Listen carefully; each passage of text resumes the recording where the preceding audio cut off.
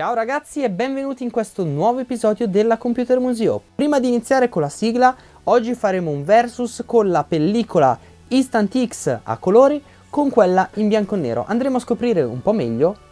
qual è la migliore. Tutto questo subito dopo la sigla.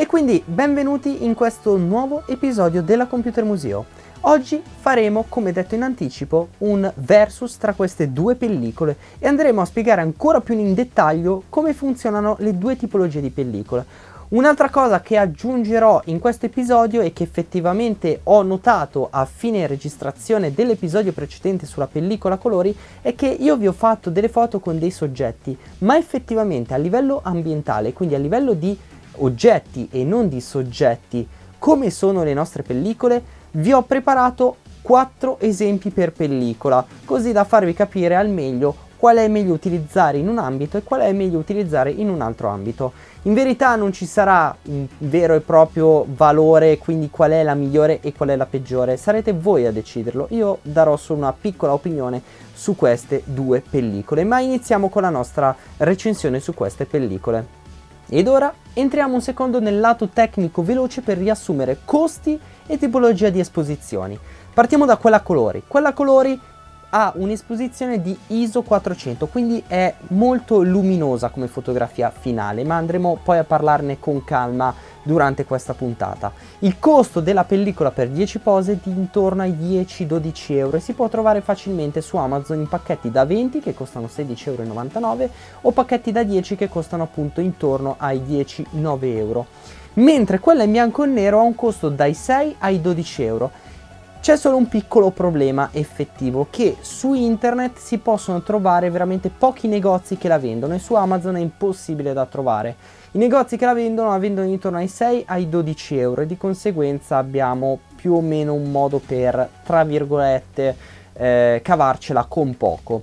Io ne ho ordinate due paia, ovviamente ho notato una piccola cosa, cioè sul lato superiore che molti negozi che vendono vendono cartucce non so se scadute oppure comunque abbastanza vecchie infatti il production number che vediamo qua è effettivamente del 2019 per quello in bianco e nero e a colori 2023 quindi queste potrebbero essere anche cartucce per le Instant X9 e neanche 11 ma comunque ho notato che funzionano effettivamente perché abbiamo fatto diverse prove e si espongono nella maniera corretta. Quindi non si capisce neanche use before oppure se è il product number e quindi di conseguenza eh, il numero di produzione, però dovrebbe essere sopra user before e poi sotto il, il product number. E queste sono un secondo le nostre pellicole, mentre quelle in bianco e nero appunto hanno un'esposizione di ISO 800 e quindi sono ancora più luminose ed è più facile anche che finiamo a fare grana nell'immagine. Essendo un versus tra le due pellicole ho preparato le foto in modo che potessero essere scattate senza l'uso del flash perché purtroppo come sapete la mia Instant X ha qualche problema e scatta a prescindere col flash di conseguenza l'ho coperto in modo che avevamo delle immagini naturali con la luce naturale e capire effettivamente com'era l'esposizione come prima foto di oggi vorrei scattare una foto ambientale a livello di alberi. In questo momento abbiamo la cartuccia a colori al suo interno questo è l'albero che ho scelto per l'occasione ma faremo una cosa in selfie mod. E qui un piccolo disclaimer che ho notato purtroppo scattando nel primo set effettivo che abbiamo fatto e che vi ho già mostrato è che purtroppo l'obiettivo non è effettivamente un 60 mm ma è molto molto meno. Secondo me è più un 35 o un 25 perché ha un formato un pochettino panoramico però un piccolo disclaimer, se volete scattare in modalità selfie e quindi con sfondo sfocato, il soggetto non deve andare oltre i 50 cm e la messa a fuoco funziona tra i 60 e i 50 cm. Se invece vogliamo scattare un panorama, allora in questo caso non ci interessa attivare la modalità selfie e la modalità non selfie, quindi la modalità normale, funzionerà dai 50 cm all'infinito, però avremo sempre un minimo di, di sfoco. Ma iniziamo con la prima foto. 5, 4, 3, 2, 1. Ok, la seconda foto che voglio provare a fare non è voluta in verità, l'ho notata per puro caso perché sta apparendo in mezzo agli alberi dei bellissimi spiragli di luce, quindi scatteremo la seconda foto appunto qui. La terza posizione, cioè la terza posa che andremo a fare sarà questa. Un albero completamente giallo, infatti è veramente molto bello perché sotto ci sono le foglie gialle, le foglie rosse, ci sono anche tante macchine, sta apparendo in questo momento il sole ma il problema è che noi non vogliamo né le macchine né l'ombra. L'ultima posa invece sarà una macro effettiva perché mi sono accorto effettivamente che non ho scattato prima in macro e di conseguenza la quarta ed ultima posa sarà fatta su quel tronco a 30-50 cm di eh, lunghezza. E adesso, una volta che siamo rientrati in studio, dopo avermi mostrato più o meno come sono scattate le diverse generi di, di fotografie, possiamo andare ad analizzare più nello specifico effettivamente cosa è uscito fuori e iniziamo direi da quelle a colori.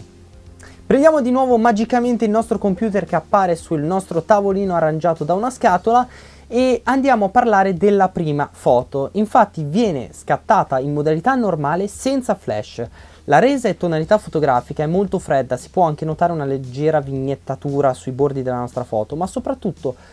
tutto sommato l'effetto che esce fuori finale è carino, luce e qualità sono soddisfacenti, quindi prima foto salvata. La seconda foto, come spiegato anche prima nel video dove la stavo scattando in verità fuori, eh, doveva in teoria vedersi un po' gli spiragli del sole, però non è stata effettivamente esposta nel modo corretto e di conseguenza questo è il risultato. Una foto molto scura, quindi con fonti luci dirette non va proprio bene questa macchina fotografica, quindi spiragli o altro, come potete vedere gli spiragli proprio non si vedono, ma la foto è proprio spenta, cioè, cioè è morta completamente, non, è da buttare insomma, questa è venuta proprio male di foto. La terza foto invece è venuta meglio del previsto e l'effetto finale è veramente veramente bello. Il giallo è saturo nel modo corretto, quindi neanche troppo esagerato, quindi qui la macchina ha esposto effettivamente nel modo giusto.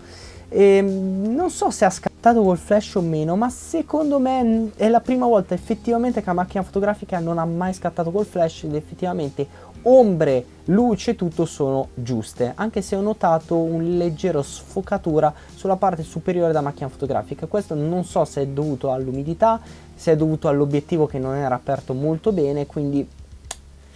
diciamo è salvata, ma c'è il punto di domanda su come mai è successa sta cosa. L'ultima foto invece è un tronco scattato in macro, quindi a circa 40 cm di distanza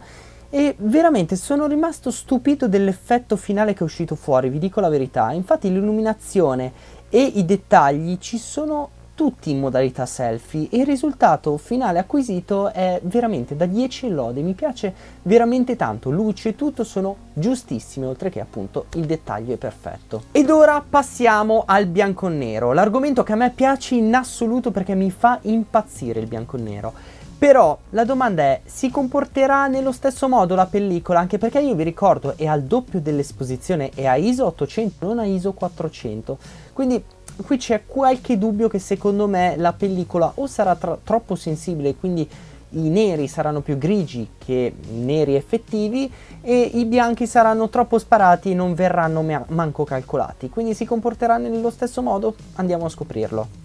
attiviamo la nostra macchina fotografica, mettiamola sempre in selfie mode e andiamo a scattare esattamente in prospettiva dell'altra volta. Quindi utilizzando sempre lo specchietto frontale e essere sicuri che quello che stiamo inquadrando è effettivamente il tronco, sì perfetto, siamo pronti a scattare la prima foto. Anche questa sarà un one shoot, quindi come viene viene. La seconda cosa che voglio fare, a differenza delle altre volte, è effettivamente questa dei graffiti. Io è una cosa che ho sempre adorato, i graffiti in bianco e nero però la prenderemo in una prospettiva un po' diversa per capire un secondo come si comporta, sempre in modalità macro, sempre senza flash e questo ci permetterà un secondo di capire quant'è il contrasto da parete bianca a graffiti. Ovviamente purtroppo non ci sono dei bellissimi graffiti qui nelle vicinanze quindi utilizzeremo questi qua ad esempio. La terza posa invece andremo sempre a farla su questo albero al sole, vedere un secondo a differenza di quella a colori quanto effettivamente il bianco e nero è più contrastante, quindi iniziamo. Allora, ammetto che l'ultima che voglio fare è molto azzardata perché come vedete è esattamente la prospettiva di questa telecamera, cioè quella che state vedendo in questo momento. Infatti l'ultima prospettiva che volevo prendere era proprio questa qui, dei raggi soli, ma per capire effettivamente il contrasto tra luce del giorno e l'ombra e questo ci permette anche di capire quanto è sensibile la nostra pellicola al sole e vedere effettivamente cosa riesce a fare. Allora, la prima foto è il seguito della quarta foto che abbiamo scattato per ultima della versione colorata. Infatti in sto caso la macchina fotografica forse ha rilevato la tipologia di cartuccia o la luce che era diversa, non lo so, e il risultato è uscito completamente diverso da quello dei colori, perché quella dei colori era comunque accentuata ad avere una luminescenza maggiore, mentre il bianco e nero è diventato effettivamente molto cupo. Infatti è venuta bene la luce, la macro è perfetta, è molto nitida, ma potremo notare effettivamente che ombre e luci, le luci sono un po' troppo e le, le ombre sono troppo basse, di conseguenza il nero è veramente scuro e non avremo proprio un'immagine ben dettagliata, ma carina comunque da vedersi. La seconda foto invece, che è il clone della numero 3 di quella a colori, è venuta fin troppo esposta e di conseguenza si perdono quasi tutti i dettagli delle luci sulle foglie probabilmente la macchina fotografica in quel caso ha rilevato troppa ombra e ha esposto di più l'immagine, quindi ha messo il flash in poche parole. Però questo ha rovinato ulteriormente la foto perché come vedete non c'è dettaglio né niente e mm, non ci siamo, non ci siamo. La terza foto invece sono molto stupito del risultato, dico la verità, sono stupito perché vi ricordo che è stata scattata in, in dettaglio, eh, cioè in macro, e ah, effettivamente anche qui a 40 cm di distanza avremo la messa a fuoco perfetta. E sono molto molto molto molto incredulo dai dettagli che sono usciti fuori sia sulla parte del muro quindi dei graffiti che sono evidenziati ma non troppo ma anche dello sfondo sfocato e soprattutto di una leggera vignettatura al centro dell'immagine che sembra quasi che eh, l'obiettivo abbia esposto più la parte centrale e meno i bordi. Quindi è tutto un insieme di particolari cose che sono veramente molto molto belle da vedersi e secondo me ha reso questa foto inizialmente impensabile perché pensavo che veniva fuori una cosa oscena, invece una cosa bellissima. La quarta invece ed ultima foto è un dettaglio sull'erba, questo in verità l'ho fatta perché volevo capire effettivamente, a parte la messa a fuoco che oramai mi era venuta il pallino in testa perché ho detto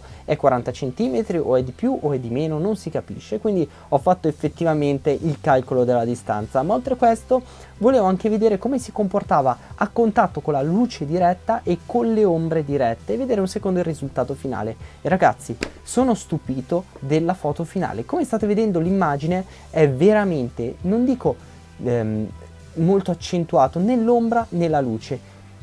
però i colori sono perfetti, sembra proprio una foto del, proprio, quella in bianco e nero proprio vecchio stile e sono molto soddisfatto anche dello sfondo sfocato che si è creato perché ricordo eravamo in modalità macro e questo è veramente ottimo. Piccolo resoconto prima di chiudere ufficialmente anche questo episodio versus che sta durando veramente tanto e secondo me quindi nello scattare al sole con questo tipo di pellicola accentua di molto i dettagli, le ombre sono più definite in bianco e nero che a colori. Però eh, sinceramente ora mio parere personale, adesso mi dovrò anche spostare un pochettino in modo che la computer grafica ci dia un secondo una mano e far apparire qua un secondo le, le immagini per fare un breve versus, è che basta vedere eh, i minimi confronti tra la foto 3 color e la 2 bianco e nero che potremo notare la differenza tra le due pellicole. E come state vedendo effettivamente la color su una parte di ambiente, quindi di natura, accentua molto di più i colori, mentre quella in bianco e nero li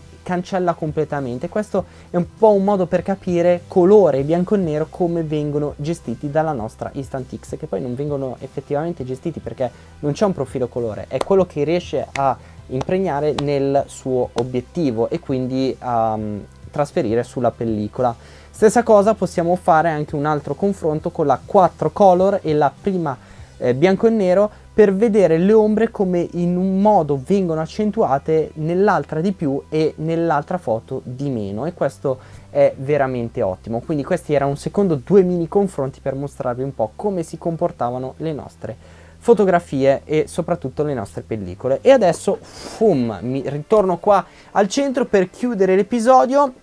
dove andremo un secondo a dirvi velocemente che l'episodio prossimo sarà sulla fotografia ancora in bianco e nero però sulla parte di un soggetto. Andremo a prendere la nostra macchina fotografica andremo a provare la nostra pellicola sul bianco e nero e vedremo un secondo come si comporta col nostro sistema ma adesso chiudiamola qui, ci saranno ancora dopo questo episodio altri due episodi, il primo appunto questo qui in bianco e nero su un soggetto e poi l'ultimo episodio invece sarà una mini guida, visto che mi avete chiesto, su come si caricano e sostituiscono le cartucce e degli avvisi se eh, c'è qualcosa da non fare assolutamente per non rovinare la, la pellicola e tutto. Insomma, andrò a rispondere a due domande che mi avete chiesto, appunto se si può sostituire nel, mentre si sta scattando anche se all'interno ci sono delle altre cartucce e inoltre come si vanno a inserire le cartucce come si va a smaltire il vecchio apparato che non si usa più perché ha finito il numero di pellicole. E quindi niente ragazzi da questo episodio è tutto, io vi ringrazio per aver visualizzato questo video e ci vediamo alla prossima puntata, ciao!